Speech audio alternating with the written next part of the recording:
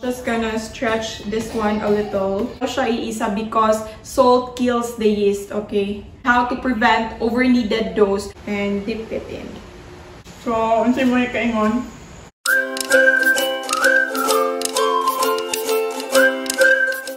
Hi guys! Welcome back to my channel. My name is Toni and for today's video, I will be showing you how to make Korean cream cheese garlic buns. This training buns, guys, is usually sliced in six sides, but you don't cut it through. It's filled with cream cheese and it's dipped in garlic butter sauce. So imagine, guys, cream cheese, garlic butter, and bread. Ako, guys, I do love breads. But the irony is that it is also one of the least that I would really want to bake. It's because it would take a lot of time and effort in baking it. You need to proof it and all. One thing they guys na I'm also afraid before is over kneaded doughs. So, di ba, effort na kayo ka og masa-masa and then you suddenly end up realizing that you've over kneaded the dough which makes the whole process palpak. Today guys, I will show you a method on how to prevent over kneaded doughs. So if you've heard of autolyse method or autolyzation, so that is the method that we will be doing right now. If you're new to this channel guys, all the measurements of the ingredients, again, I will put it in the description box below. So just go ahead and check it. Start with guys, we'll just get a tablespoon of water from our readied half cup of water. Okay? And transfer it to another bowl and set this one aside together with our salt, our butter, and our yeast. And then we'll just gonna put all our wet ingredients here in our bowl, okay? So our water, and our milk, and then one egg.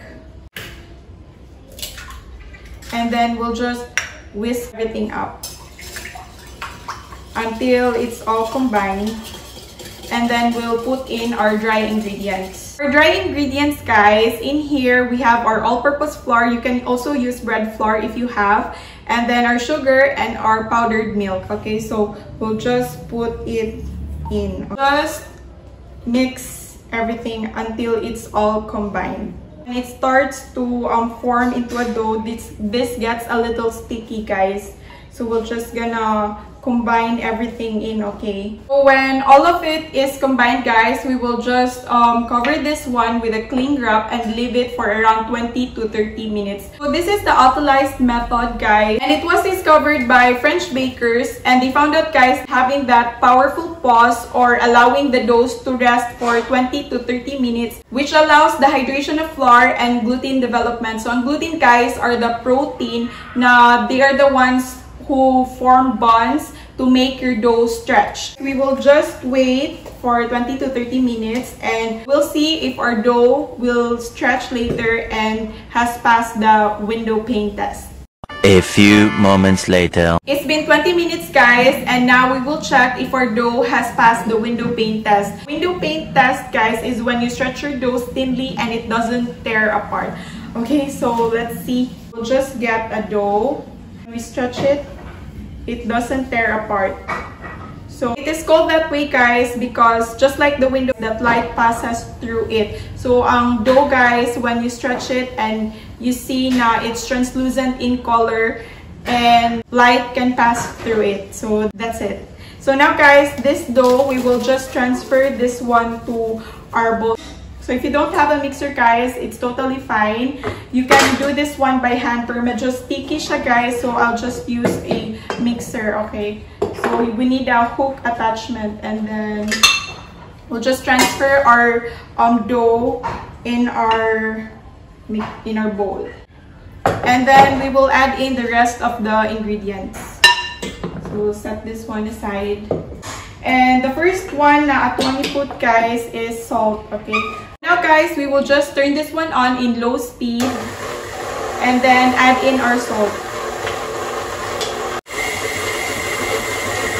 So when it's combined guys, we will add in our yeast. Okay, so we've separated a tablespoon of water here and then we will add 2 teaspoons of yeast. So we'll just open this one first. Kaya wala pa ni siya nagamit guys. So 2 teaspoons. Okay, always remember that guys, so we'll just mix this one up until it's all combined and then we'll pour it in. So just remember always guys na you should not um, mix your salt with your yeast together, okay? Pwede ninyo nahon ang yeast and water and then followed by the salt but ayaw siya iisa because salt kills the yeast, okay? When it's guys, it becomes sticky na. So we will just put this one here and allow it to be mixed. So again, we'll just turn it on. So when it's all mixed up guys, the next one is we will add in our butter, our softened butter. Now guys, when it's all incorporated, so we've kneaded it for around 5 minutes and then we'll transfer this one to our oiled surface. Get a pastry brush and an oil. We'll just oil our bowl na atong butangan. And then, kundi guys, the reason kaganiha why yulahin nato ang butter, it's because inhibits the formation of gluten strand. It's really best na sa ulahin na lang siya. So that's why. And then, we'll just transfer this one. Medyo sticky ang dough guys, but that's totally fine because um, it you will have that softer um, dough texture. We'll just transfer this one. So we'll just cover this one again with a cling wrap, guys. We will just use it, the one we used earlier. And then leave this one for again another 20 minutes. 12 seconds later. Now guys, it's been 20 minutes again and we have here our dough. We will just transfer this one to a silicone mat or if you don't have, so just in your table and then we will do the stretch and fold method, okay? So we will um, grease our hands a bit with oil para dili kay siya stick. So we will get our dough here and then we will just stretch it out then fold it in. Go and fold. So if you have a dough scraper guy you can also use that one to fold.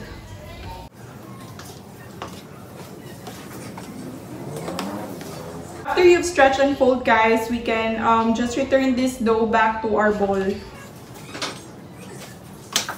We'll just cover this one again and wait for another 20 minutes before we portion it out. A few inches later. So again guys, another 20 minutes and we'll get our dose. It has, I think it has risen since ni burot ang iyahang um, cling wrap. So we'll just take this one off and then punch it a bit, okay? So, and then get our dough and put it in our mat. Okay, so I'll just get a scraper and just, oops, put it out. Just gonna stretch this one a little.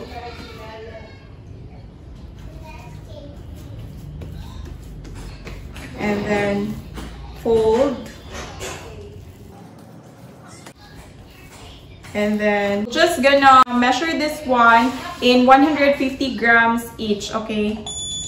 So that even lang siya pagka, so we'll cut and then measure 150 grams. So when it's done guys, we will just flatten this one out each, okay?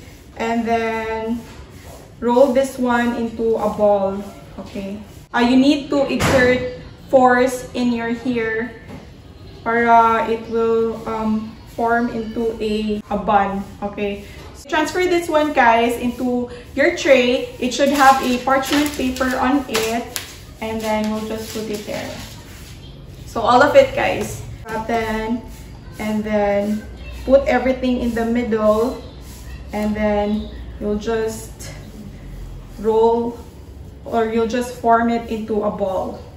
And then put about 3 inches apart each. Okay guys, okay since mo we, it will still rise so basin magdikit sila when it's all done guys um, we'll just cover this one with a damp towel and then we will just let this one um, rest for another 20 minutes before we will load it in our oven. Our doughs are resting guys, we will just make our cream cheese filling. So in it guys, we will need a room temperature cream cheese and we'll get a rubber scraper. And then we'll just um, mix a little. And then guys, we will add in our sugar. And guys, we will add in uh, 1 4 cup of heavy cream Mix it up again until it's all combined. So if you're done, we'll just set this one aside and we'll make our garlic butter. The dough has been dressed for 20 minutes already guys and then we'll just um so nitubo siya guys and then now we will do the egg wash before loading this one in our oven. The egg wash guys, I've just mixed one egg and a tablespoon of milk. So you got you just get a pastry brush and then brush the top, okay? When it's done, we will just load this one in our oven in 180 degrees Celsius for 15 to 20 minutes or when it turns golden. While our bread is baking in the oven, guys, we will make our garlic butter sauce. So in it, guys, we have this a bowl and we'll just get a whisk.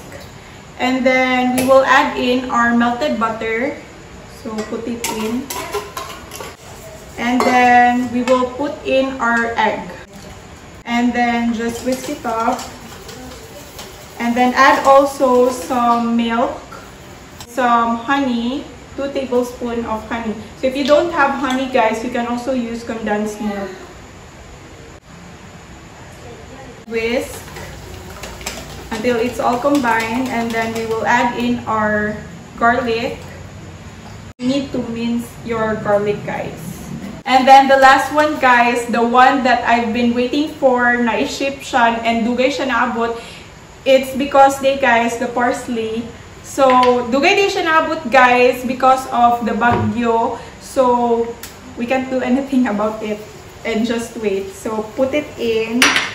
So, here's our garlic butter sauce. And we'll just set this one aside and wait for our bread to bake. A little longer than a few minutes later. So we're back again guys and now our buns are already baked and it's already cooled down. Um, we're just gonna slice it into six sides, okay? So we'll get one. We'll just get a serrated knife guys for or a bread knife, okay? And then we're just gonna slice it first half and just don't cut it through, okay? And then on this side, like an X and on the other side. So this one. And now guys, we're just gonna fill this one with our um, cream cheese filling. So we'll get a pastry bag or a piping bag and then we'll just fill it up, okay? So here and on the other side. When you're done filling your buns, guys, we will dip this one in our garlic butter sauce and dip it in. Wow. Since we still have extra here, we'll just put it on the top. And then you can, it, this is just optional guys, you can put breadcrumbs or parmesan cheese on top. Now we're done guys, we're just gonna load this one back in our oven in 180 degrees Celsius for 12 to 15 minutes. Much, much, much later. And now I'm with my husband. So he's gonna taste the buns also. And the buns are already cooled down. So we'll have our taste test. So we'll get one. And... So, unsay mo kaingon? Dili. Okay, so, um, the buns, guys, the bread, humok jud siya. At least guys, hindi na siya kailangan inidlimog ayo and but the result is the bread is very soft and ang cream cheese ug garlic bread it's a good combination so a must try and thank you for watching this video till the very end. I hope you enjoyed and see you on my next video.